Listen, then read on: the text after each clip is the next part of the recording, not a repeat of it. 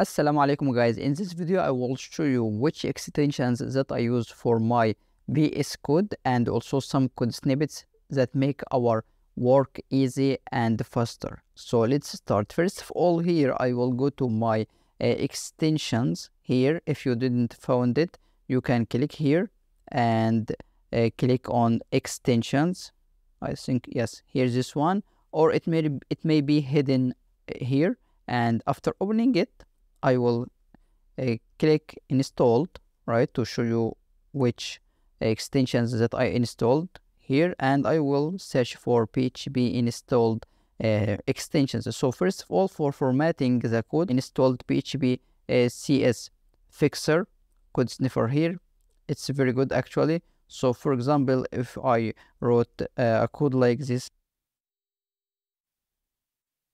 and if I select the whole code here and as you can see on right click you can see here format selection right? And if I click on it it will be formatted right? So I will move it here again uh, and I will right click you can format whole document here and it's formatted right? Paddings and so on. The next extension here php Intelephense it's amazing extension actually as you noticed here before it's used for everything actually related to PHP not only for Laravel. So for example it's auto complete or auto import this class as you can see here. So if I remove it again and I will remove it and I will say here uh, user as auto completed as you can see here it auto suggest it so if I click on it it will import this user automatically here for example right? And also if I use request as you can see it would suggest request and also request right? The next one is PHP namespace resolver from its name right? As if I uh, remove this namespace here and right click as you can see generate namespace for this file. When I click on it it will be auto generated not only generate it corrects the namespace so imagine here i will add another uh, thing here learn right? But the namespace is wrong. It auto correct the namespace also. So right click and again generate namespace namespace will be corrected right? The extra things here actually for this uh, package or this extension uh, let's remove these imported classes here right? And now i will right click as you can see these uh, shortcuts related to this extension. So for example import class. When i click import class here first of all we must select the class and right click on it import class.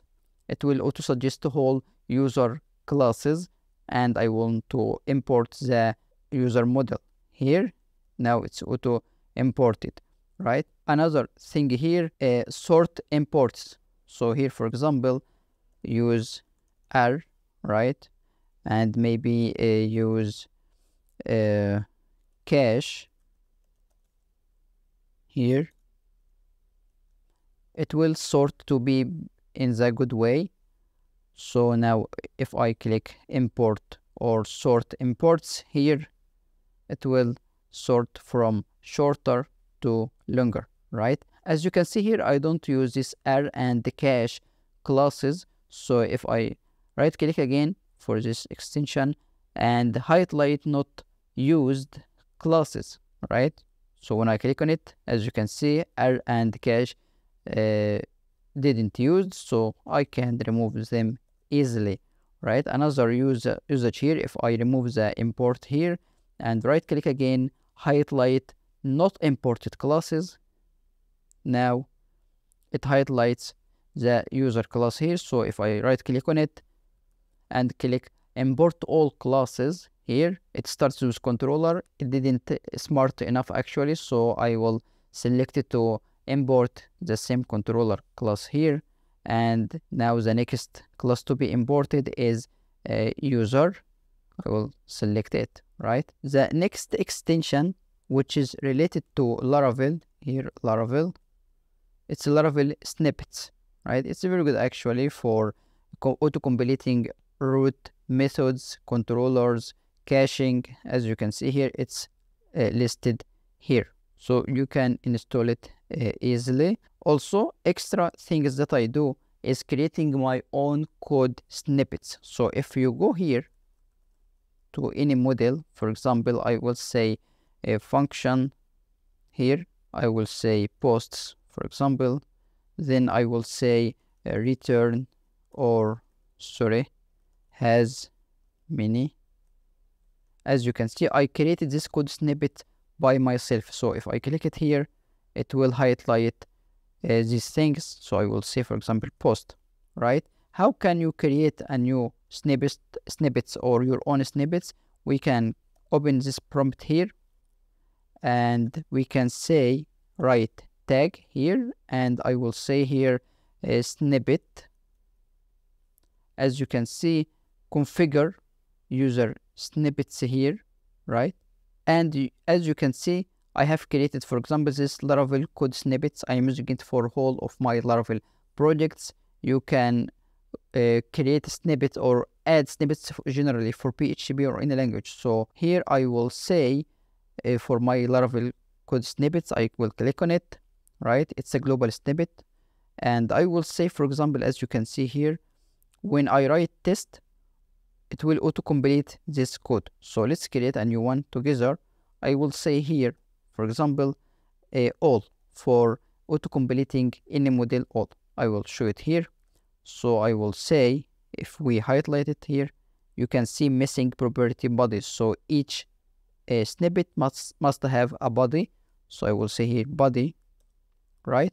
And which string or sentence will be completed or which code must be auto completed so i will say here for example a user all right? We must define prefix also. So i will say prefix must be all. So back here again here and i will say all here. As you can see it's auto completed user all.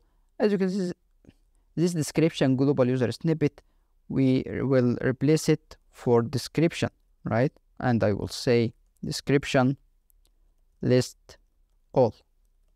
Back again, write all, and it's changed now, list all, right? And when I click on it, it will auto-complete this body here as I defined it. But what if I want to change it to model to be changeable and it must be also auto-selected to edit it directly, we can prefix it with dollar sign, right? So back again, I will say all again, hit enter, and as you can see, the model word has been auto-selected automatically, so we can say user here, right? And editing it easily. Also, if you want to keep your configuration, so you may, in any day, you may install VS Code on another machine, you can import it easily. You must log in with uh, github. Here your uh, your account actually. I think once you install yes from here you can in, uh, sign in with github to keep these configurations uh, synced everywhere you install your vs code. One last thing i want to mention about uh, this extension here called uh, php intelephense here once you install any package, it's very recommend to re-index your workspace. So by opening a prompt again, writing this uh, brackets or tag, you can say here index and index workspace to sync all new installed package uh, classes. If you want to learn more about uh, VS Code tips and tricks, I think here this link